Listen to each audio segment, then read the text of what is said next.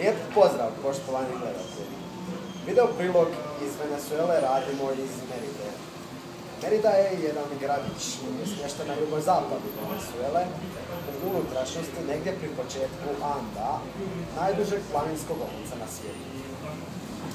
Iako je ovo planinski kraj, budući da se nalazi u okolici ekvatora, ovdje je konstantno ljeto, dani su vrući, ali ipak noći su ugodne i friške. No, u 20 dana boravka u Venezueli proputovao sam oko 1500 km i posjetio sam u to vrijeme glavni grad Venezuele je Caracas, Maracay, Tucacas i nacionalni park Morokoj, prvu prijestolnicu nekadašnje Venezuele, kolonijalni grad Coro i Merida. Pa krenimo nekim redom. Ili možda krenimo ovako. Kad je me neko pitao da mu nabrojim pet stvari po kojima je meni Venezuela prepoznatljiva, moja lista bi izgledala nekako ovako.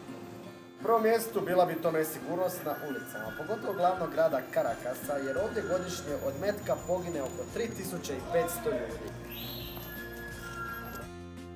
E, Zatim ludi vozači. U bilo kojem gradu Venezuele pješaci su ti koji uopće nemaju prednost, vozači voze tko je brži, taj prolazi, a za semafore svi su totalni daltonisti.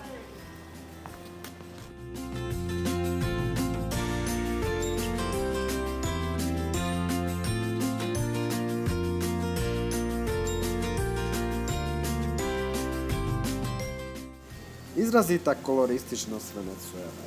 E, To je zemlja koja voli da je sve šareno. Šareni autobusi, šareno našminkane venezuelanke sa šarenim majcama ili nekim cijetnim ukrasom. Ovo što upravo gledate je video isječak e, sa karnevala u Koru.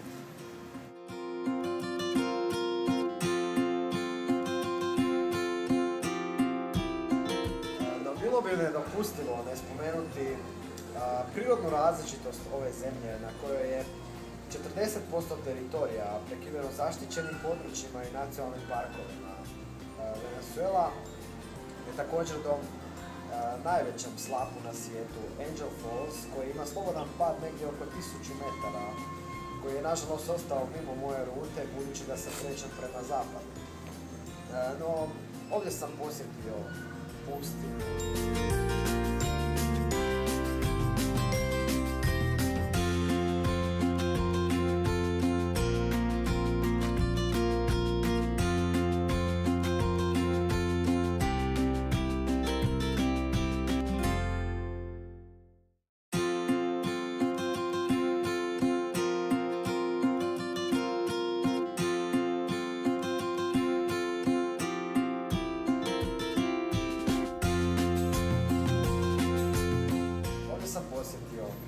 Ande, ovdje sam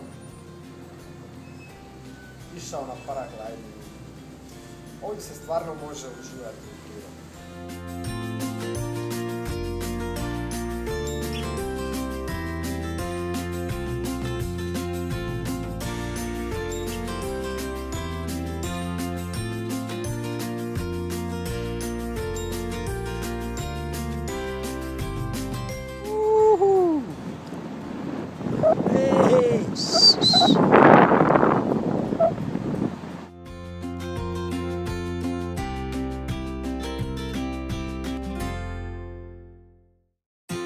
Socijalizam imamo kao zadnje, no u ovom videu ne bih uopće pričao o Chavezu, o nafti, jer sam dovoljno pisao o tome na svom blogu.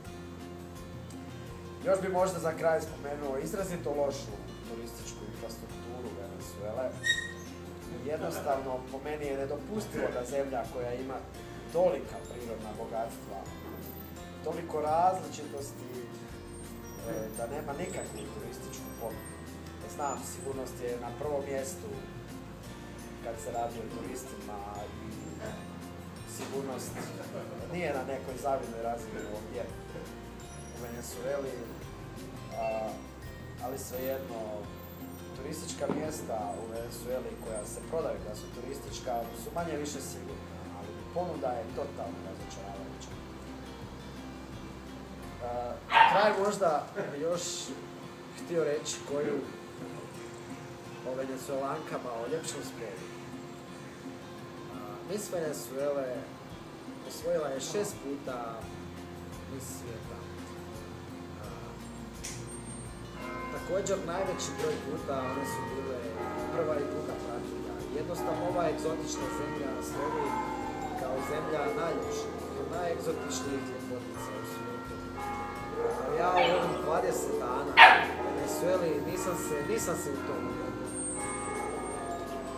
Ne znam, ono što sam zapazio je da one sve imaju bujno poprsje, bujne. A, No nije se u tome, bitno je kak se nosi, kažu.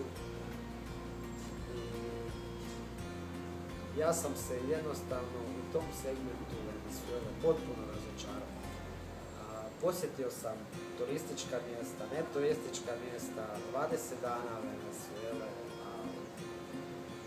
Ljepotica, ljepotica je ovdje bilo slabo. Je su one sve ljepuškaste u licu, sve je to neka štika, industrija ljepote koja, ono, sve one nose e, proteze za zube, njeguju svoj ten, ali jednostavno